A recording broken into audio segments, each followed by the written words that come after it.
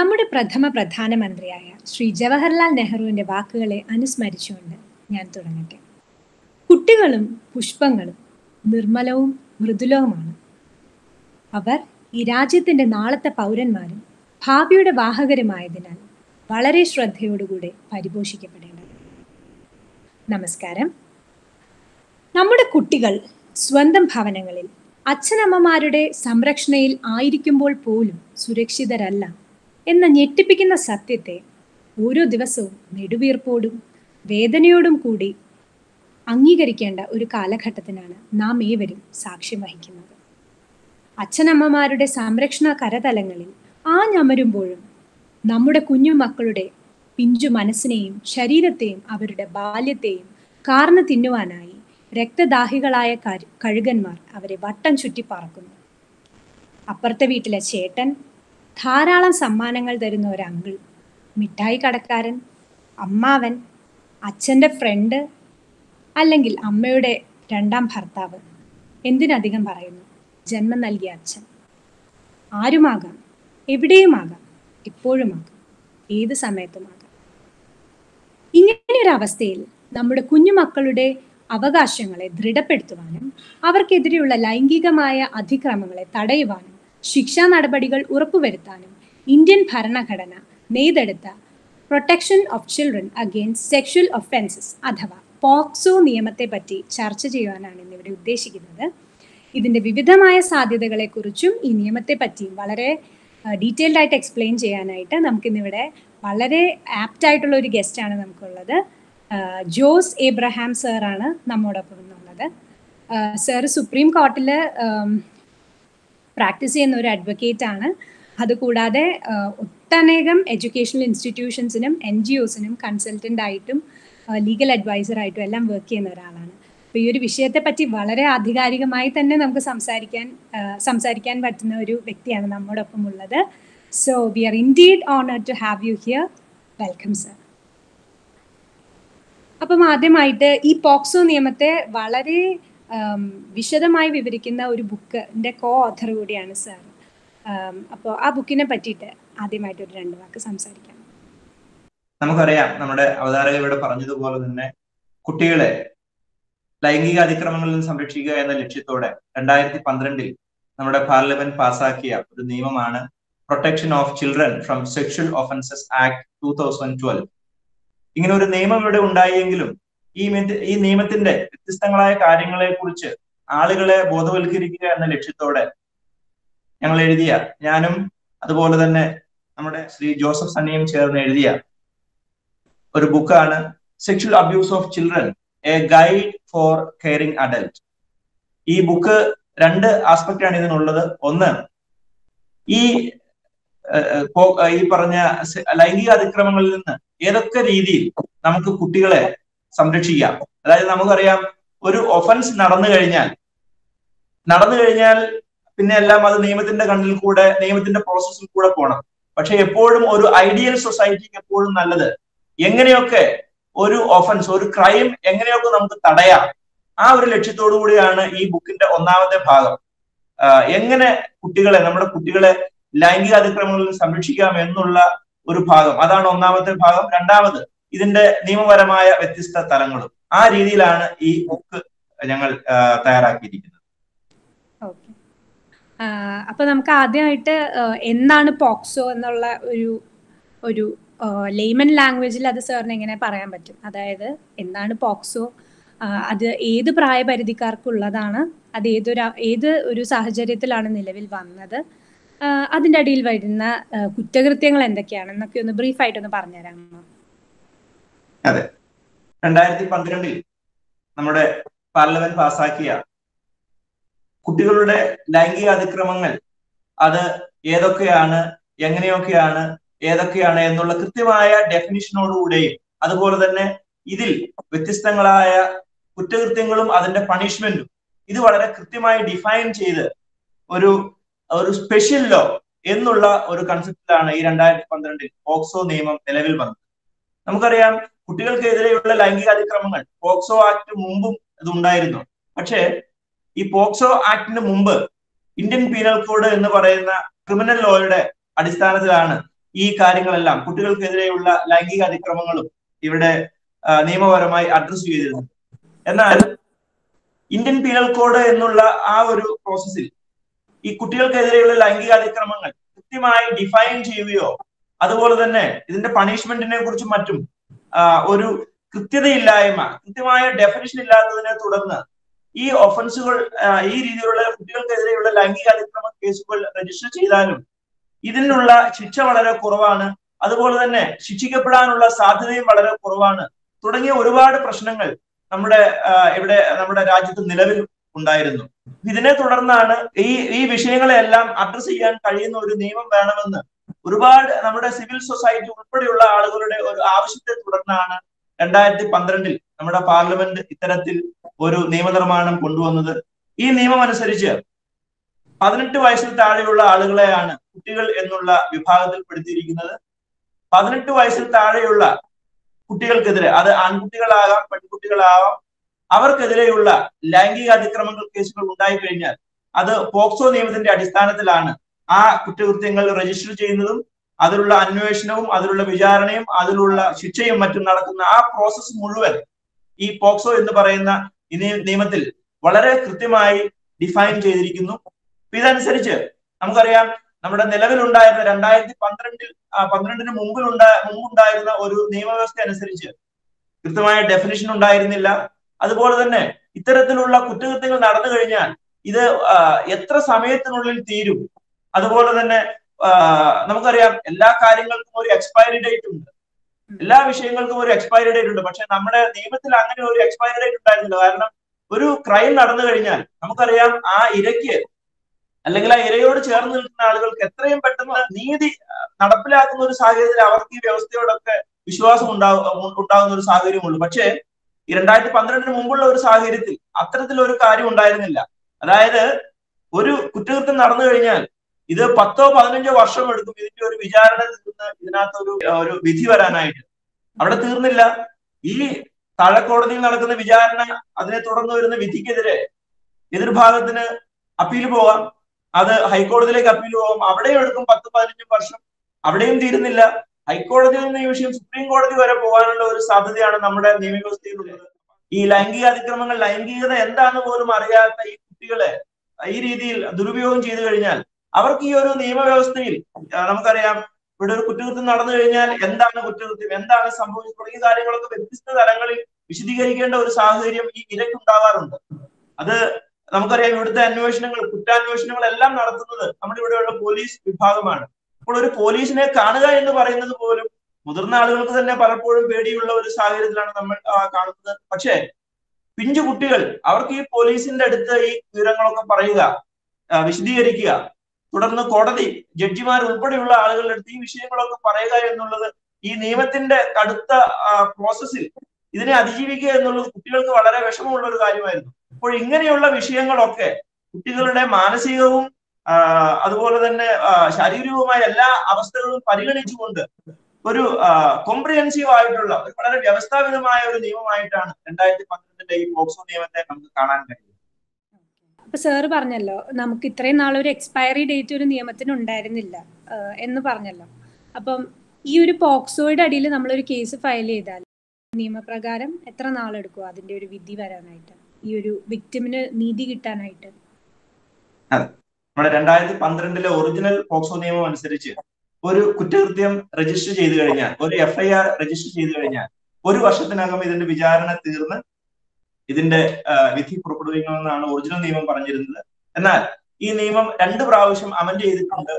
ആ അമെന്റ്മെന്റിനെ തുടർന്ന് ഇപ്പോഴുള്ള നിലവിലെ അവസ്ഥ എന്താണെന്ന് വെച്ചാൽ ഒരു കുറ്റകൃത്യം നടന്ന് മൂന്ന് മാസത്തിനകം ഇതിന്റെ വിചാരണ പൂർത്തിയാക്കി വിധി പുറപ്പെടുവിക്കണമെന്നാണ് ഇപ്പോൾ നിലവിലുള്ള പോക്സോയുടെ അപ്പോഴത്തെ നിയമം പറയുന്നത്. ഇനി ഒരു നമ്മളൊരു യൂഷ്വൽ ഒരു സെനാരിയോ കൺസിഡർ ചെയ്ത് കഴിഞ്ഞാൽ ഇപ്പോൾ സ്കൂൾസിലായാലും പലപ്പോഴും ടീച്ചേഴ്സിന് അറിയായിരിക്കും കുട്ടികൾ അബ്യൂസ് ചെയ്യപ്പെടുന്നുണ്ടോ ഇല്ലയോ. അങ്ങനത്തെ അങ്ങനെ ഒരു രീതിയിൽ അതുപോലെ തന്നെ ഇപ്പം നെയ്ബേഴ്സിനും കുറേയൊക്കെ കുട്ടികൾ ഇപ്പം മറ്റ് വീടുകളിൽ നടക്കുന്ന അബ്യൂസ് നടക്കുന്നുണ്ടോ എന്നൊക്കെ അറിയുന്നുണ്ടാവും പക്ഷെ പലപ്പോഴും ഇങ്ങനത്തെ കാര്യങ്ങൾ പുറത്ത് വരുന്നില്ല. ഇപ്പോൾ ഇപ്പോൾ കേസസ് വളരെ കൂടുതലാണ് ഇപ്പോൾ കുറേയൊക്കെ പുറത്ത് വരുന്നുണ്ടെങ്കിലും ഒരു വലിയ വിഭാഗം കേസസ് പുറത്ത് വരുന്നില്ല എന്ന് എന്നൊരു വെപ്പുണ്ടല്ലോ. അപ്പോൾ നമ്മൾ എങ്ങനെയാണ് ഇപ്പോൾ ഇങ്ങനെ ഒരു നമ്മൾക്ക് ഒരു കുട്ടീനെ ഒരു കുട്ടി അബ്യൂസ് ചെയ്യപ്പെടുന്നു എന്ന് തോന്നിയപ്പോൾ ഒരു ടീച്ചറിനാണെങ്കിലും അല്ലെങ്കിൽ ഒരു നെയ്ബറിനാണെങ്കിലും അല്ലെങ്കിൽ ഒരു റാൻഡം ആൾക്ക് എങ്ങനെയാണ് നമുക്ക് ഈ ഒരു നിയമത്തിന് ആക്സസ് ചെയ്യാൻ പറ്റുന്നത്? ആരെയാണ് നമ്മൾ പോയി ഇതിനെ അപ്രോച്ച് ചെയ്യേണ്ടത്? എന്നൊന്ന് പറഞ്ഞു തരാമോ? ഈ ചോദ്യത്തിൽ രണ്ട് ഭാഗമാണ് ഞാൻ കാണുന്നത്. ഒന്ന് നമ്മുടെ ഈ റിപ്പോർട്ടിംഗ് എന്ന് പറഞ്ഞ ഒരു ഭാഗത്തെ കുറിച്ച് നമുക്കറിയാം നമ്മുടെ കുട്ടികൾ വളരെ വലിയ രീതിയിലുള്ള ലൈംഗിക അതിക്രമങ്ങൾക്ക് വിധേയരാകുന്നു. പ്രത്യേകിച്ച് അവർ അവരുടെ കുടുംബത്തിൽ പോലും സുരക്ഷിതരല്ല എന്നുള്ള ഒരു ഒരു അതൊരു ഫാക്റ്റാണ് നമുക്കറിയാം നമ്മുടെ കേന്ദ്ര നമ്മുടെ കേന്ദ്ര സർക്കാരിന്റെ വിമൻ ആൻഡ് ചൈൽഡ് മിനിസ്ട്രിയുടെ രണ്ടായിരത്തി പതിനേഴിലെ ഒരു പഠനം അനുസരിച്ച് ഏതാണ്ട് അമ്പത്തിനാല് ശതമാനത്തോളം വരുന്ന കുട്ടികൾ വ്യത്യസ്ത രീതിയിലുള്ള ലൈംഗിക അതിക്രമങ്ങൾക്ക് വിധേയരാകുന്നു എന്നുള്ള ആ- ഒരു പഠന റിപ്പോർട്ട് അത് ലോകത്തിൽ അങ്ങോളം ഇങ്ങോളം എടുത്താൽ നല്ല ഒരു ശതമാനം കുട്ടികളും ഏതെങ്കിലും ഒക്കെയുള്ള സമയത്ത് വ്യത്യസ്ത രീതിയിലുള്ള ലൈംഗിക അതിക്രമങ്ങൾക്ക് വിധേയരാകുന്നു എന്നുള്ള കണക്ക് പുറത്തു വന്നിട്ടുണ്ട്. നമുക്കറിയാം അമ്പത് ശതമാനത്തിൽ കൂടുതൽ വരുന്ന കുട്ടികൾ ലൈംഗിക അതിക്രമങ്ങൾ വിധേയരാകുന്നു എന്ന് പറഞ്ഞു കഴിഞ്ഞാൽ അത് വളരെ വലിയ ഒരു നമ്പറാണ് പക്ഷേ നമ്മൾ അതിനെ നിയമപരമായ ഒരു പ്രോസസ്സിലേക്ക് കാണുകയാണെങ്കിൽ ഇതിന്റെ പത്ത് ശതമാനം പോലും റിപ്പോർട്ട് ചെയ്യപ്പെടുന്നില്ല എന്നുള്ളതാണ് വാസ്തവം. സെക്ഷൻ പത്തൊമ്പത് മുതൽ ഇരുപത്തി ഒന്ന് വരെയുള്ള ഭാഗങ്ങൾ ഈ മാൻഡേറ്ററി റിപ്പോർട്ടിങ്ങിനെ കുറിച്ചാണ് പറയുന്നത്. അപ്പോൾ അതനുസരിച്ച് ഏതെങ്കിലും ഒരു കുട്ടി ലൈംഗിക അതിക്രമത്തിന് വിധേയരാകാൻ സാധ്യതയുണ്ട് എന്നുള്ള ഒരു അറിവ് കിട്ടിക്കഴിഞ്ഞാൽ അല്ലെങ്കിൽ ലൈംഗിക അതിക്രമത്തിന് വിധേയരായി എന്നുള്ള ഒരു അറിവുണ്ടായി കഴിഞ്ഞാൽ ആ അറിവുള്ള ഏതൊരു വ്യക്തിയുടെയും നിയമപരമായ ബാധ്യതയാണ് ഈ വിഷയം പോലീസിൽ റിപ്പോർട്ട് ചെയ്യുക എന്നുള്ളത്. ഇത് ചെയ്തില്ല എങ്കിൽ ആറ് മാസം മുതൽ ഒരു വർഷം വരെ തടവ് ശിക്ഷ ലഭിക്കുമെന്നുള്ളതാണ് ഈ നിയമത്തിന്റെ ഏറ്റവും വലിയ പ്രത്യേകത. ഈ വകുപ്പ് ചേർക്കാനുള്ള ഒരു കാര്യം നമ്മൾ തുടക്കത്തിലെ പറഞ്ഞതുപോലെ ഈ അണ്ടർ റിപ്പോർട്ടിംഗ് കുട്ടികൾക്കെതിരെയുള്ള ലൈംഗിക അതിക്രമങ്ങൾ അത് കൃത്യമായി റിപ്പോർട്ട് ചെയ്യപ്പെടുന്നു. അത്തരം വിഷയങ്ങൾ കൃത്യമായ ശിക്ഷ ഈ വിഷയങ്ങൾക്കെല്ലാം കൊടുക്കുന്നു എന്നുള്ള കാര്യം ഉറപ്പുവരുത്തുക എന്ന ലക്ഷ്യത്തോടെയാണ് ഈ ഒരു ഈ ഒരു നിയമത്തിൽ ഇപ്രകാരം ഒരു വകുപ്പ് ചേർത്തത്.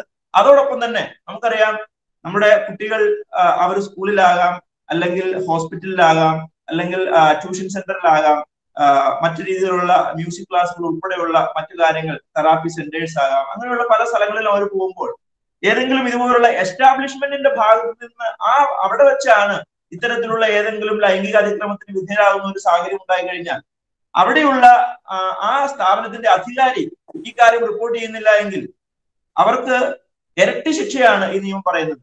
അതായത് സാധാരണ ആളുകളെ സംബന്ധിച്ച് ഈ റിപ്പോർട്ടിംഗ് നട നടത്തിയില്ല എങ്കിൽ ആറു മാസം വരെ ആറു മാസം വരെ തടവ് ശിക്ഷയും പിഴ ശിക്ഷയും. എന്നാൽ അതൊരു സ്ഥാപനത്തിന്റെ അധികാരിയാണ് അത് ആ റിപ്പോർട്ടിംഗ് വീഴ്ച വരുത്തുന്നതെങ്കിൽ അവർക്ക് ഒരു വർഷം വരെ തടവും പിഴ ശിക്ഷയും. അതാണ് ഈ നിയമത്തിന്റെ ഏറ്റവും വലിയൊരു പ്രത്യേകത. ഈ ചോദ്യത്തിന്റെ രണ്ടാം ഭാഗത്തേക്ക് വരികയാണെങ്കിൽ എവിടെയാണ് പരാതി കൊടുക്കേണ്ടത്? ഈ പോക്സോ നിയമം അനുസരിച്ച് പതിനെട്ട് വയസ്സിൽ താഴെയുള്ള കുട്ടികൾക്കെതിരെയുള്ള ലൈംഗിക അതിക്രമ കേസുകൾ ഉണ്ടായി കഴിഞ്ഞു കഴിഞ്ഞാൽ അത് റൈറ്റിംഗിൽ റിപ്പോർട്ട് ചെയ്യേണ്ടത് സ്പെഷ്യൽ ജൂനൈൽ പോലീസ് എന്ന് പറയുന്ന പോലീസിലാണ് പോലീസ് വകുപ്പിലാണ് അത് റിപ്പോർട്ട് ചെയ്യപ്പെടേണ്ടത്. ഈ സ്പെഷ്യൽ ജൂനൈൽ പോലീസ് എന്ന് പറഞ്ഞു കഴിഞ്ഞാൽ നമ്മുടെ എല്ലാ ലോക്കൽ പോലീസ് സ്റ്റേഷന്റെയും ഭാഗമായിട്ട് ഉണ്ടാകേണ്ട ഒരു അതോറിറ്റിയാണ് ഈ സ്പെഷ്യൽ ജൂനൈൽ പോലീസ്. പക്ഷെ നിലവിലെ സാഹചര്യത്തിൽ നമ്മുടെ മെട്രോ സിറ്റികളിൽ മാത്രമേ ഈ സ്പെഷ്യൽ ജൂനൈൽ പോലീസ് എന്ന് പറയുന്ന ആ ഒരു പോലീസ് വിഭാഗം നമ്മുടെ ലോക്കൽ പോലീസിന്റെ ഭാഗമായിട്ടുള്ളൂ. നമ്മൾ കേരളത്തിലേക്ക് എടുക്കുകയാണെങ്കിൽ അങ്ങനെ ഒരു സ്പെഷ്യൽ ജൂനൈൽ പോലീസ് എന്ന് പറയുന്ന കാര്യമില്ല. അപ്പോൾ കേരളത്തിന്റെ ഒരു സാഹചര്യത്തിൽ നമ്മൾ ആ വിഷയം നോക്കുകയാണെങ്കിൽ ആ സംഭവം നടന്ന ആ സ്ഥാപനത്തിന്റെ പരിധിയിൽ വരുന്ന ലോക്കൽ പോലീസ് സ്റ്റേഷനിൽ പോയി പരാതി കൊടുക്കുക എന്നുള്ളതാണ് ചെയ്യേണ്ടത്. വേറൊരു കാര്യം എന്ന് വെച്ചാൽ ഒരു കുട്ടിയുടെ മാനസികമായ വളർച്ചയും നമ്മൾ പരിഗണിക്കുന്നുണ്ടല്ലോ. അപ്പം അതിന് ആവശ്യമായിട്ടുള്ള സ്നേഹം കരുതൽ അങ്ങനെ ഒരു കുട്ടി ആരോഗ്യപരമായിട്ട് വളരണം എന്നുണ്ടെങ്കിൽ ശരീരവും മനസ്സും ഒരേപോലെ വളരണമല്ലോ. അപ്പോൾ അതിനു വേണ്ടിയിട്ട് നമ്മൾ പ്രൊവൈഡ് ചെയ്യേണ്ട നമ്മൾ ഒരു സമൂഹം എന്ന നിലയിലും മാതാപിതാക്കളായിക്കോട്ടെ അധ്യാപകരായിക്കോട്ടെ റിലേറ്റീവ്സ് ആയിക്കോട്ടെ അവർ പ്രൊവൈഡ് ചെയ്യേണ്ട കുറച്ച് കാര്യങ്ങളുണ്ടല്ലോ. അപ്പോൾ അതിൽ നിന്നും അത് പ്രൊവൈഡ് ചെയ്യാതെ അത് കുട്ടികൾക്ക് നിഷേധിക്കപ്പെടുന്നത് അവരുടെ വളർച്ചയ്ക്ക് തീർച്ചയായും ഒരു തടസ്സമായി മാറും. അവരുടെ ബാല്യം അതെല്ലാം അതിനെല്ലാം കുട്ടികളിൽ നിന്ന് കൂറ്റിയെടുക്കുന്ന ഒരു പ്രവണതയാണല്ലോ. അപ്പം മറ്റ് പല അവരുടെ മാനസിക ആരോഗ്യത്തെ ബാധിക്കുന്ന വിഷയങ്ങൾ ഈ ഒരു പോക്സോ ആക്ടിൽ നമുക്ക് ഉപയോഗിക്കാൻ പറ്റുമോ? ഈ പോക്സോ കുറ്റത്തിന്റെ അല്ലെങ്കിൽ ലൈംഗിക അതിക്രമ വിഷയത്തിന്റെ ഒരു പ്രത്യേകതയാണ് ഈ കുട്ടികളെ നിശബ്ദരാക്കിക്കൊണ്ട് ഇത് ഒരു ദിവസമല്ല ഇതിങ്ങനെ വളരെ തുടർന്ന് നടക്കുന്ന ഒരു പ്രോസസ്സാണ് ഈ കുട്ടികളെ വ്യത്യസ്ത രീതിയിലുള്ള ലൈംഗിക അതിക്രമ വിഷയങ്ങളിലേക്ക് വിധേയരാക്കുന്നു എന്നുള്ളത്. നമുക്കറിയാം കഴിഞ്ഞ വർഷങ്ങളിലൊക്കെ ഇവിടെ നമ്മുടെ ലോകത്തെമ്പാടും കണ്ട ഒരു മീ ടു ക്യാമ്പയിനിങ് അതിന്റെ ഭാഗമായി ഒരുപാട് ആളുകൾ തുറന്നു പറയുന്നത് നമ്മളെല്ലാം കേട്ടതാണ്.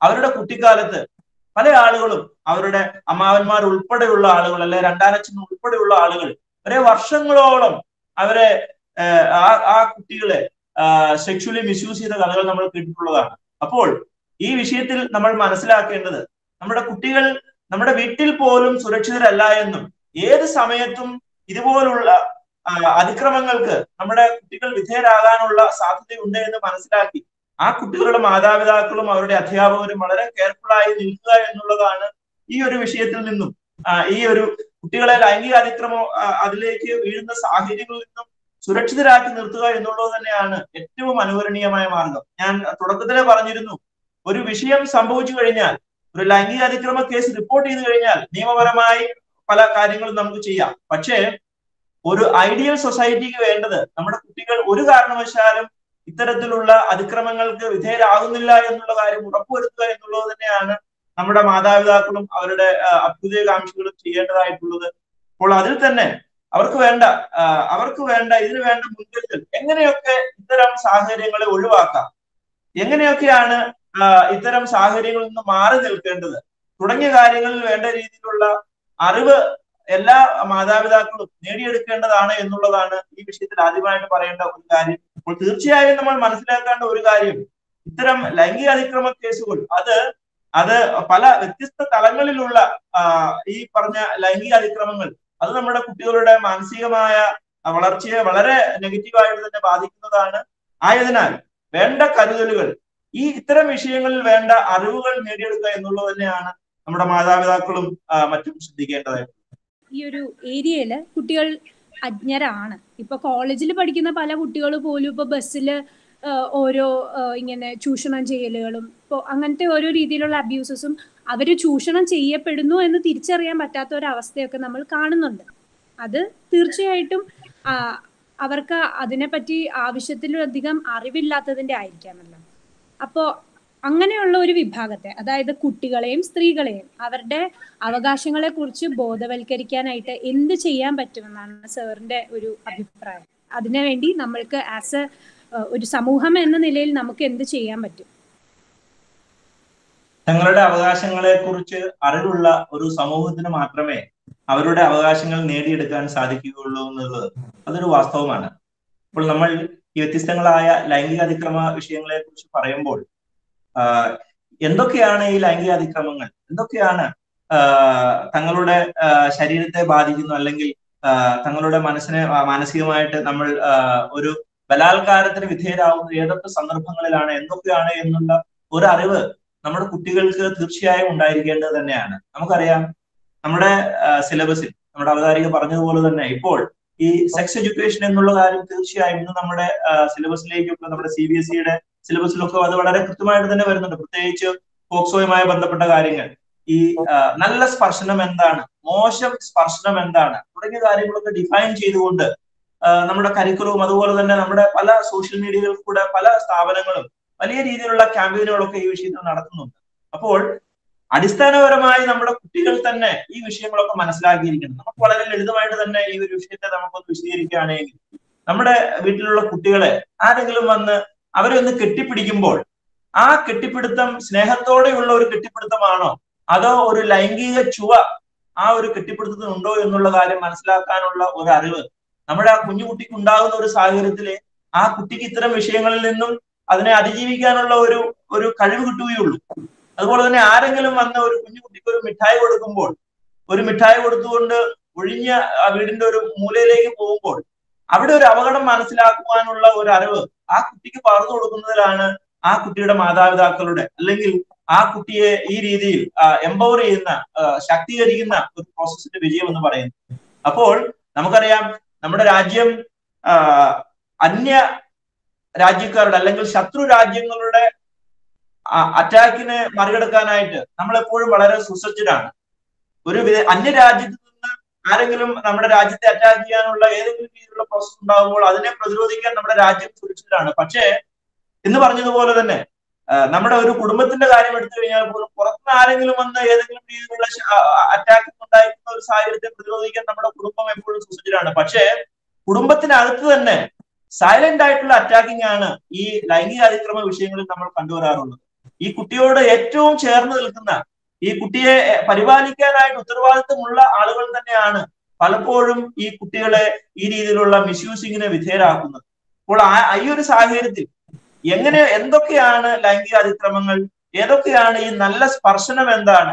ഏതൊക്കെ രീതിയിൽ പോകുമ്പോഴാണ് അതൊരു ഒരു ഒരു മോശം സ്പർശനത്തിന്റെ ഒരു രീതിയിലേക്ക് അത് പോകുന്നത്. തുടങ്ങിയ കാര്യങ്ങളൊക്കെ നമ്മുടെ കുട്ടികളെ കൃത്യമായിട്ട് പറഞ്ഞു മനസ്സിലാക്കാനുള്ള ബാധ്യത നമ്മുടെ ആളുകൾക്ക് നമ്മുടെ പൊതുസമൂഹത്തിനുണ്ട്. ആ ഒരു കാരണം ഈ ലൈംഗിക അതിക്രമ കേസുകളെ കുറിച്ച് നമ്മൾ മറ്റു രീതിയിൽ ഒന്ന് ഒന്ന് പരിശോധിക്കുകയാണെങ്കിൽ ഇത് ഒറ്റ ദിവസം കൊണ്ടുണ്ടാകുന്ന ഒരു പ്രോസസ് അല്ല. ഇതൊരു ഗ്രൂമിംഗ് എന്ന് പറയുന്ന ഒരു പ്രോസസ്സിൽ കൂടെ കടന്നുപോയി. ഓരോ ആളുകളും കുട്ടികളെ ഈ രീതിയിലേക്ക് മിസ്യൂസ് ചെയ്യപ്പെടാനായിട്ട് ആ കുട്ടിയെ ട്രെയിൻ ചെയ്ത് ഒരു ഒരു വലിയ പ്രോസസ്സിന്റെ ഒരു ഗ്രൂമിംഗ് ഒരു മെരുക്കിയെടുക്കൽ എന്ന ഒരു പ്രോസസ്സിന്റെ ഭാഗമായിട്ടാണ് ഈ പീഡോഫൈൽസ് അതായത് കുട്ടികളെ ഈ രീതിയിലായി ലൈംഗികമായി മിസ്യൂസ് ചെയ്യാനായിട്ടുള്ള ആളുകൾ ഒരുക്കുന്നത്. അപ്പോൾ ഇത്തരം വിഷയങ്ങളിൽ ഇത് എങ്ങനെ ഇതിനെ തടയിടാം എന്നുള്ള അല്ലെങ്കിൽ എങ്ങനെ ഈ കാര്യങ്ങൾ ഉണ്ടായി കഴിഞ്ഞാൽ എങ്ങനെ ഇത് മാതാപിതാക്കളുടെ അടുത്ത് ഇത്തരം വിഷയങ്ങളിൽ സ്വതന്ത്രമായി സംസാരിക്കാൻ കുട്ടികൾക്ക് സാധിക്കും? തുറന്നു പറയാനുള്ള ഒരു അവസരം നമ്മുടെ കുട്ടികൾക്ക് കൊടുക്കുക എന്നുള്ളത് തന്നെയാണ് നമ്മുടെ മാതാപിതാക്കളും സ്കൂൾ അധികാരികളും ഒക്കെ ചെയ്യേണ്ടത്. നമുക്കറിയാം നമ്മുടെ കുട്ടികളെ സൈലൻസിങ് അവരെ നിശബ്ദരാക്കുക എന്നുള്ള ഒരു ഒരു കാര്യമാണ് നമ്മൾ പലപ്പോഴും നമ്മുടെ പഴയ തലമുറ പഴയ രീതിയിലേക്ക് വരുന്ന സമയത്ത് കണ്ടുവരാറുള്ളത്. കുട്ടിയെ സംസാരിക്കാനുള്ള ഫ്രീഡം കൊടുക്കുന്ന സാഹചര്യം നമ്മൾ കണ്ടുവരാറില്ല. ഇത് ഇതുപോലെ തന്നെ ഈ കുട്ടികളെ ലൈംഗിക അതിക്രമത്തിന് വിധേയരാക്കുന്ന ആളുകളും ഇതുപോലെ തന്നെ കുട്ടികളെ നിശബ്ദരാക്കാനുള്ള ചെപ്പടി വിദ്യകളൊക്കെ അവരുടെ കയ്യിലുണ്ട്. അവർ പറയും അവരെ കുട്ടികളെ എപ്പോഴും പറയും നിങ്ങൾ ഇത് കുട്ടി ഈ വിഷയം തന്റെ മാതാപിതാക്കളോട് വല്ലവരും പറഞ്ഞു കഴിഞ്ഞാൽ കുട്ടിയെയാണ് ഇത് ഗുരുതരമായിട്ട് ബാധിക്കാൻ പോകുന്നത്. അതല്ലെങ്കിൽ ഈ ഒരു വിഷയം തുറന്നു പറഞ്ഞു കഴിഞ്ഞാൽ ശാരീരികമായിട്ട് മാതാപിതാക്കളെ ഞാൻ വേദനിപ്പിക്കും. അങ്ങനെയുള്ള പല രീതിയിലുള്ള ത്രിട്ടണിങ് പല രീതിയിലുള്ള വെളിപ്പെടുത്തലുകൾ കൂടെ ഒക്കെയാണ് ഈ പറഞ്ഞ ലൈംഗിക അതിക്രമത്തിന് മുതിർന്ന മുതിരുന്ന ആളുകൾ ചെയ്യാറുള്ളത്. അപ്പോൾ ഈ സാഹചര്യങ്ങളൊക്കെ കുട്ടികളെ പറഞ്ഞ് മനസ്സിലാക്കി എങ്ങനെയാണ് ഇത്തരം സാഹചര്യങ്ങളിൽ നിന്ന് മാറി നിൽക്കാൻ കഴിയുക എന്നുള്ള നല്ല ഒരു ഒരു ഒരു ഒരു എഡ്യൂക്കേഷന്റെ ഭാഗമായിട്ട് തന്നെ ഇത്തരം വിഷയങ്ങളിൽ നിന്ന് മാറാൻ നമ്മുടെ കുട്ടികളെ സംരക്ഷിക്കാൻ കഴിയും എന്നുള്ളത് തന്നെയാണ് ഈ ചോദ്യത്തിന് മറുപടിയായിട്ട് പറയാനുള്ളത്. വളരെ വ്യക്തമായിരുന്നു. അപ്പോ വേറൊരു കാര്യം എന്ന് വെച്ച് കഴിഞ്ഞാൽ ഇപ്പോൾ ഒരു കുറ്റകൃത്യം നടന്നു കഴിഞ്ഞാൽ നമ്മൾ കോടതി സമീപിക്കുകയും കോടതിയെ സമീപിക്കുകയും അവിടെ ശിക്ഷാവിധി നടപ്പാക്കുകയും ചെയ്യുന്നുണ്ട്. അതിലുപരിയായിട്ട് ആ ഒരു വിക്റ്റിമിന് ഗവൺമെന്റ് എന്തെങ്കിലും സപ്പോർട്ട് പ്രൊവൈഡ് ചെയ്യുന്നുണ്ടോ? അതായത് അവർക്ക് മുന്നോട്ടുള്ള മുന്നോട്ടുള്ള ജീവിതത്തിൽ അവർക്ക് വന്ന ആ ഒരു മുറിവുകളെ തരണം ചെയ്ത് മുന്നോട്ട് പോകാനായിട്ട് എന്ത് ഒരു റീഹാബിലിറ്റേറ്റ് ചെയ്യാനുള്ള എന്ന രീതിയിൽ എന്ത് സപ്പോർട്ടാണ് ഗവൺമെന്റ് പ്രൊവൈഡ് ചെയ്യുന്നത്? പോക്സോ ആക്ട് എന്ന് പറയുന്നത് അതൊരു ഒരു സ്പെഷ്യൽ നിയമമാണ്. ഇതിനകത്ത് കുറ്റവാളികളെ ശിക്ഷിക്കുന്നു എന്നുള്ളത് മാത്രമല്ല കൂടിയ ശിക്ഷ കൊടുക്കുന്നു എന്നുള്ളത് മാത്രമല്ല വിക്ടിമിനെ ഏതൊക്കെ രീതിയിൽ റീഹാബിലിറ്റേറ്റ് ചെയ്യാം എന്നുള്ള ഒരു കാര്യം കൂടെ ഈ നിയമത്തിൽ വളരെ കൃത്യമായിട്ട് തന്നെ പറയുന്നുണ്ട്. അപ്പോൾ വ്യത്യസ്ത രീതിയിലുള്ള സൈക്കോളജിക്കൽ അല്ലെങ്കിൽ അവർക്ക് വേണ്ട രീതിയിലുള്ള ഫൈനാൻഷ്യൽ തുടങ്ങിയ സപ്പോർട്ട്സ് ഒക്കെ തുടങ്ങിയ വ്യത്യസ്ത രീതിയിലുള്ള സപ്പോർട്ടിംഗ് സിസ്റ്റം ഈ നിയമത്തിൽ ഉറപ്പു പറയുന്നുണ്ട്. അവർക്ക് ആവശ്യമായ ആ ഇരയ്ക്ക് ആവശ്യമായ രീതിയിലുള്ള മാനസികമായ പിന്തുണ കൊടുക്കുവാനായിട്ട് വേണ്ട സൈക്കോളജിക്കൽ കൗൺസിലിങ്ങും സപ്പോർട്സും ട്രെയിനിങ്ങും മറ്റു അത് പറയുന്നു. അതോടൊപ്പം തന്നെ ആ ഇരയെ സാധാരണ രീതിയിലേക്ക് കൊണ്ടുവരാനായിട്ടുള്ള ഒരു കോമ്പൻസേഷൻ അവർക്ക് വേണ്ട സാമ്പത്തികമായിട്ടുള്ള അവരെ അവരെ സാധാരണ ജീവിതത്തിലേക്ക് കൊണ്ടുവരാനായിട്ടുള്ള ഒരു ഫൈനാൻഷ്യൽ സപ്പോർട്ട് പോലും ഈ നിയമത്തിൽ പറയുന്നുണ്ട് എന്നുള്ളതാണ് ഈ പോക്സോ നിയമത്തിന്റെ ഏറ്റവും വലിയ സവിശേഷത. സ്പെഷ്യൽ നീഡ്സ് ഉള്ള കുട്ടികളെ പ്രത്യേക രീതിയിലാണ് കുട്ടികൾക്കെതിരെയുള്ള അതിക്രമങ്ങളെ പ്രത്യേക രീതിയിലാണ് ഈ പോക്സോ നിയമം അഡ്രസ് ചെയ്യുന്നത്. അല്ലെങ്കിൽ സാധാരണഗതിയിലുള്ള ആളുകൾക്കുള്ള അതേ നിയമം തന്നെയാണോ ഇവർക്കും? അതാണ് ഒരു ചോദ്യം. മറ്റൊന്ന് അതിൽ തന്നെ വരുന്നതാണ് അവർക്ക് റീ അവർക്ക് ആവശ്യമായ റീഹാബിലിറ്റേഷൻ കൊടുക്കാനായിട്ട് എക്സ്ട്രാ എന്തെങ്കിലും ഏരിയാസ് ഈ ഒരു നിയമത്തിൽ വരുന്നുണ്ടോ? അതെ. നമ്മുടെ ഭിന്നശേഷിക്കാരായ നമ്മുടെ കുട്ടികളും പോക്സോ നിയമവും തമ്മിലുള്ള ഒരു ബന്ധത്തെ കുറിച്ചാണ് ചോദ്യം. അപ്പോൾ ഈ വിഷയത്തിൽ എനിക്ക് പറയാനുള്ള ഒരു കാര്യം എന്ന് പറയുന്നത് രണ്ടായിരത്തി പതിനെട്ടിൽ ഡൽഹിയിലുള്ള ഒരു സ്ത്രീ സുപ്രീം കോടതിയിൽ ഒരു പൊതുതാൽപര്യ ഹർജി കൊടുക്കുകയുണ്ടായി. അവർ ആ വിഷയത്തിൽ പറഞ്ഞ കാര്യം അവരുടെ മുപ്പത്തെട്ട് വയസ്സുള്ള മാനസിക വെല്ലുവിളികൾ നേരിടുന്ന കുട്ടിയെ ഈ റേപ്പ് എന്ന് പറയുന്ന ആ ഒരു അതിന് വിധേയായ അവരുടെ കുട്ടിയെ പോക്സോ ആക്ട് അനുസരിച്ചുള്ള പ്രോസസ്സിൽ കൂടെ അവരെ വിചാ ആ കുട്ടിക്ക് വേണ്ട സംരക്ഷണം കൊടുത്തുകൊണ്ട് വിചാരണയും മറ്റും നടത്താനുള്ള ഒരു കാര്യം ഉണ്ടാകണമെന്ന് പറഞ്ഞുകൊണ്ടാണ് ഈ സ്ത്രീ രണ്ടായിരത്തി പതിനെട്ടിൽ സുപ്രീം കോടതിയെ സമീപിച്ചത് അവരുടെ മുപ്പത്തെട്ട് വയസ്സ് അതായത് ബയോളജിക്കൽ ഏജ് മുപ്പത്തെട്ട് വയസ്സുണ്ടെങ്കിലും ആ ഭിന്നശേഷിക്കാരിയായ ആ കുഞ്ഞിന്റെ മാനസിക വയസ്സ് മാനസികമായ പ്രായം എന്ന് പറയുന്നത് പന്ത്രണ്ട് വയസ്സാണ്. അപ്പോൾ സുപ്രീം കോടതിയിൽ ആ കേസ് വന്ന് നമുക്കറിയാം അത് വളരെ അപ്പീലിംഗ് ആയിട്ടുണ്ട് അത് വളരെ നീതിക്ക് നീതിയോട് ചേർന്ന് നിൽക്കുന്ന ഒരു വിഷയമാണ് എന്ന് നമുക്കൊക്കെ തോന്നിയെങ്കിലും സുപ്രീം കോടതി ഇതിൽ പറഞ്ഞത്. പോക്സോ നിയമം അനുസരിച്ച് അതിൽ ബയോളജിക്കൽ ഏജ് അല്ലെങ്കിൽ മെന്റൽ ഏജ് എന്ന് പറയുന്ന ഒരു ഡിഫറൻസ് ഒന്നും ഈ നിയമത്തിൽ ഇപ്പൊ നിലവിൽ കാണുന്നില്ല. അതൊക്കെ കൊണ്ടുവരേണ്ടതുണ്ടെങ്കിൽ അതൊക്കെ പാർലമെന്റ് ആണ് കൊണ്ടുവരേണ്ടത്. ഞങ്ങളെ സംബന്ധിച്ച് ഇപ്പോഴത്തെ നിയമം ഈ ഇപ്പോഴത്തെ രീതിയിൽ ബന്ധപ്പെട്ട് ചെയ്യുകയാണെങ്കിൽ ഇതിനകത്ത് ബയോളജിക്കൽ ഏജ് മാത്രമേ പറയുന്നുള്ളൂ. അപ്പോൾ ആയതിനാൽ ഈ ആവശ്യം പരിഗണിക്കാൻ കഴിയില്ല എന്ന് പറഞ്ഞുകൊണ്ട് ആ കേസ് ഡിസ്മിസ് ചെയ്യുന്ന ഒരു സാഹചര്യം ഉണ്ടായെങ്കിൽ കൂടെ നമ്മൾ അതിന് മനസ്സിലാക്കേണ്ട ഒരു കാര്യം നമുക്കറിയാം. നമ്മുടെ ഭിന്നശേഷിക്കാരായ കുട്ടികളെ സംബന്ധിച്ച് അവർ അവർ ഇത്തരം ലൈംഗിക അതിക്രമത്തിന് വിധേയരാകാനുള്ള സാധ്യതയും മറ്റും വളരെ കൂടുതലാണ്. കാരണം അവർക്ക് ഈ വിഷയങ്ങളൊന്നും തുറന്നു പറയാൻ പോലും സാധിക്കാത്ത ഒരു സാഹചര്യത്തിൽ ഇത്തരം ഇരകളെ മിസ്യൂസ് ചെയ്യുന്ന അല്ലെങ്കിൽ ഇവരെ അതിക്രമങ്ങൾ അതിക്രമങ്ങൾക്ക് വിധേയരാകുന്ന സാഹചര്യങ്ങൾ വളരെ കൂടുതലാണ്. അപ്പോൾ നിലവിലുള്ള നിയമം അനുസരിച്ച് നമ്മൾ ഈ കാര്യത്തെ നോക്കുകയാണെങ്കിൽ ഭിന്നശേഷിക്കാരായ കുട്ടികളെ അവർക്ക് അറിയാം. നേരത്തെ പറഞ്ഞതുപോലെ തന്നെ അവർക്ക് അവർ അവർ നേരിട്ട അതിക്രമങ്ങൾ കൃത്യമായിട്ടൊന്ന് പറയാൻ പോലും അവർക്ക് സാധിക്കില്ല. അപ്പോൾ സ്പെഷ്യൽ ആയിട്ടുള്ള സ്പെഷ്യൽ കമ്മ്യൂണിക്കേറ്റേഴ്സ് സ്പെഷ്യൽ തെറാപ്പിസ്റ്റുകളുടെ ഒക്കെ സഹായത്തോടുകൂടി മാത്രമേ ഇവർക്ക് എന്താണ് സംഭവിച്ചതെന്നുള്ള കാര്യം നമ്മുടെ കോടതിയിൽ പോലും ഇവർക്കൊന്ന് പറയാനോ അല്ലെങ്കിൽ അന്വേഷണ ഉദ്യോഗസ്ഥന്മാർക്ക് മുമ്പാകെ ഈ കുട്ടികൾക്ക് ഇതൊന്നും വിവരിച്ചു കൊടുക്കണമെങ്കിൽ അത് സാധാരണ അവർക്ക് സാധിച്ചു വരില്ല. അപ്പോൾ അതിനെല്ലാം വേണ്ട വേണ്ട നടപടിക്രമങ്ങൾ ഈ പോക്സോ നിയമത്തിൽ പറയുന്നുണ്ട്. ഈ കുട്ടികളുടെ സംരക്ഷണത്തിനായി സ്പെഷ്യൽ തെറാപ്പിസ്റ്റുകളെ വയ്ക്കുവാനൊക്കെ ഉള്ള ഒരു പ്രൊവിഷൻ അവർക്ക് വേണ്ട ആ സ്പെഷ്യൽ തെറാപ്പിസ്റ്റുകളുടെയും സ്പെഷ്യൽ എഡ്യൂക്കേറ്റേഴ്സിന്റെ ഒക്കെ സേവനം എടുക്കുവാനും അവർക്ക് സർക്കാരിൽ നിന്നും അവർക്ക് വേണ്ട അവർക്ക് ആ ആളുകളുടെ സേവനത്തിന് വേണ്ട പ്രതിഫലം കൊടുക്കുവാനും ഒക്കെ ഈ നിയമത്തിൽ വ്യവസ്ഥയുണ്ട്. അപ്പോൾ ഞാൻ വീണ്ടും പറയുന്നു പോക്സോ ആക്ട് എന്ന് പറയുന്ന ഒരു സ്പെഷ്യൽ നിയമമാണ് അതിൽ ഈ മാനസികമായ വെല്ലുവിളികൾ നേരിടുന്ന അല്ലെങ്കിൽ ഭിന്നശേഷിക്കാരായിട്ടുള്ള കുട്ടികളെ കുട്ടികളുടെ റീഹാബിലിറ്റേഷൻ ഉറപ്പുവരുത്താനും അവർക്ക് വേണ്ട സാമ്പത്തികപരമായ അല്ലെങ്കിൽ സൈക്കോളജിക്കൽ പരമായ കാര്യങ്ങളൊക്കെ ഉറപ്പുവരുത്താനുള്ള ഒരു വ്യവസ്ഥയും ഈ നിയമത്തിൽ ഉണ്ട് എന്നുള്ളതാണ് വാസ്തവം. ഞാൻ പ്രത്യേകമായി നമ്മുടെ ഈ ഒരു പ്രോഗ്രാമിനെ അഭിനന്ദിക്കാൻ ആഗ്രഹിക്കുകയാണ്. കാരണം ഇത്തരം കാര്യങ്ങളെ കുറിച്ച് നമ്മുടെ പൊതുസമൂഹത്തിൽ ആളുകൾക്ക് അറിവില്ല. പോക്സോ നിയമം എന്താണെന്നും ഈ പോക്സോ നിയമത്തിൽ നമുക്ക് ഈ നമ്മുടെ സ്പെഷ്യൽ നീഡ്സ് ഉള്ള കുട്ടികൾക്കും അതുപോലെ തന്നെ അവർക്കുള്ള ആനുകൂല്യങ്ങൾ എന്താണ് എന്നുള്ള ഒരു അറിവൊക്കെ നമ്മുടെ സമൂഹത്തിൽ നിലവിൽ ലഭ്യമല്ല. ഈ നിയമത്തെ കുറിച്ച് എല്ലാവരും പറയുന്നു ഇപ്പോഴത്തെ ഒരു നെഗറ്റീവ് ട്രെൻഡിലാണ് ഈ നിയമത്തെ എല്ലാവരും കാണുന്നത്. ഇത് മറ്റുള്ള ആൾക്കാരെ ഫോൾസ്ലി ഇംപ്ലിക്കേറ്റ് ചെയ്യാനും അതുപോലെ തന്നെ ദുരുപയോഗം ചെയ്യുന്ന വിഷയങ്ങളെ കുറിച്ചിട്ടാണ് കൂടുതലും നമ്മുടെ സമൂഹത്തിൽ ചർച്ച വരുന്നത്. പക്ഷേ നമ്മളിതിന്റെ യഥാർത്ഥമായ മറ്റൊരു വശമുണ്ട്. അതാണ് നമ്മുടെ ഈ ചർച്ചയിൽ കൂടെ ഇപ്പോൾ നമ്മുടെ ചോദ്യകർത്താവ് വളരെ ഭംഗിയായിട്ട് ആ ചോദ്യങ്ങളൊക്കെ ചോദിക്കുന്നു. ഈ കാര്യങ്ങളൊക്കെ തന്നെയാണ് നമ്മുടെ നമ്മുടെ സമൂഹത്തിൽ ഈ ഇത്തരം വിഷയങ്ങളിൽ താല്പര്യമുള്ള ആളുകളുടെ അടുത്ത് നമ്മൾ ഈ കാര്യങ്ങൾ എത്തിക്കേണ്ടത് തന്നെയാണ് എന്ന് തന്നെയാണ് ഈ ഒരു ചോദ്യത്തോട് സാന്ദർഭികമായി എനിക്ക് പറയാനുള്ള സർ അപ്പൊ നമ്മൾ ഇത്രയും നേരം പോക്സോ നിയമത്തെ പറ്റിയും അതിന്റെ വിവിധമായ ഏരിയാസിനെ പറ്റിയും എന്തൊക്കെയാണ് ശിക്ഷാ നടപടികൾ? എന്താണ് അതിന്റെ കീഴിൽ വരുന്ന കുറ്റകൃത്യങ്ങൾ? ആരൊക്കെയാണ് ഈ പോക്സോ നിയമത്തിൽ പോക്സോ നിയമം ആർക്ക് വേണ്ടിയാണ് എന്നുള്ള പല ഏരിയാസ് നമ്മളിപ്പോൾ കൺസിഡർ ചെയ്തു. പക്ഷെ സാർ നേരത്തെ പറഞ്ഞ പോലെ തന്നെ ഒരു നല്ല സമൂഹത്തിലേക്ക് നമുക്ക് എത്തിച്ചേരണം. ഒരു സിവിലൈസ്ഡ് സൊസൈറ്റിയിലേക്ക് എത്തിച്ചേരണം എന്നുണ്ടെങ്കിൽ തീർച്ചയായിട്ടും നമ്മുടെ കുട്ടികൾ സുരക്ഷിതരാവണമല്ലോ. അപ്പൊ കുറ്റകൃത്യങ്ങൾ തടയുക എന്നുള്ളത് തടയുന്നതിന് ശിക്ഷാ നടപടികൾ കൃത്യമായ രീതിയിൽ നടപ്പാക്കുക എന്നുള്ളത് വലിയൊരു സ്റ്റെപ്പ് തന്നെയാണ് തീർച്ചയായിട്ടും. പക്ഷേ ഈ കുറ്റകൃത്യങ്ങൾ അതായത് കുട്ടികൾക്കെതിരെയുള്ള ലൈംഗികമായ അതിക്രമങ്ങൾ എങ്ങനെ തടയാൻ കഴിയും എന്നുള്ളതിനെ പറ്റിയിട്ട് ഒന്ന് സംസാരിക്കാമോ? തീർച്ചയായും. നമ്മുടെ ഒരു നല്ല സമൂഹത്തിൽ ഒരു ഐഡിയൽ സിറ്റുവേഷൻ എന്ന് പറയുന്നത് കുറ്റകൃത്യങ്ങൾ ഉണ്ടായി കഴിഞ്ഞാൽ എന്തൊക്കെ ചെയ്യാം എന്നുള്ളതിനേക്കാൾ കൂടുതൽ. കുറ്റകൃത്യങ്ങൾ ഉണ്ടാകാതിരിക്കാനായിട്ട് എന്തൊക്കെ ചെയ്യാം എന്നുള്ള ഒരു ചിന്ത ഉണ്ടാവുകയും അതിനു വേണ്ട നടപടിക്രമങ്ങൾ സ്വീകരിക്കുക എന്നുള്ളതുമാണ് ഏറ്റവും അനുകരണീയമായ മാർഗം എന്ന് പറയുന്നത്. നമുക്കറിയാം നമ്മുടെ കുട്ടികൾക്കെതിരെയുള്ള ലൈംഗിക അതിക്രമങ്ങളെ കുറിച്ച് നമ്മൾ നോക്കുകയാണെങ്കിൽ ഇതിനെ എങ്ങനെ തടയിടാം എന്നുള്ളതിന് ഒരു ഒറ്റ വാക്യത്തിലുള്ള ഫോർമുല നമ്മുടെ ആരുടെയും കയ്യിലില്ല. എങ്കിൽ കൂടെയും കുറെ കാര്യങ്ങൾ നമ്മൾ ശ്രദ്ധിക്കുകയാണെങ്കിൽ ഇത്തരം വിഷയങ്ങൾ ഒരു പരിധി വരെ തടയാൻ കഴിയും എന്നുള്ളത് തന്നെയാണ് വാസ്തവം. ഒന്നാമതായി നമ്മുടെ കുട്ടികളെ അവരുടെ പ്രായത്തിനനുസരിച്ച് സെക്ഷൽ എഡ്യൂക്കേഷൻ അവർക്ക് പകർന്നു കൊടുക്കുക എന്നുള്ളത് തന്നെയാണ് ഏറ്റവും പ്രധാനപ്പെട്ട ഒരു കാര്യം.